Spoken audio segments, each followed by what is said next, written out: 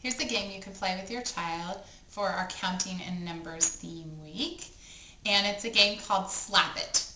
So what you'll need is two decks of cards. So what I did here is I made two different color decks of cards um, um, out of construction paper. So you can buy these number cards, you know, at, at Target or Lakeshore Learning or any places like that. But you can also just make them cheaper, cheaper that way.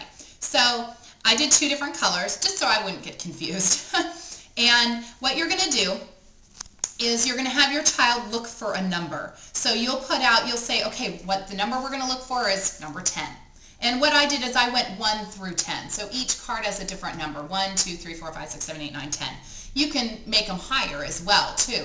Just, um, just whatever number you think would be best for your child. So let's start off with the number 10.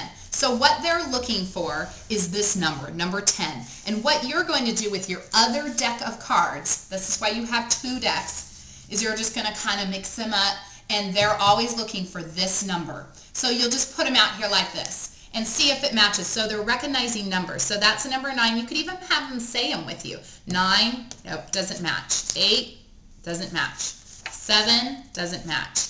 10, Yes, and then you have your child slap that number just like that, and then they get to keep that number. So you just kind of put that aside. It's kind of like they won that, that part. And then you just do another one. Now put that number aside and pick out another number, okay? So the number we're going to look for is 9.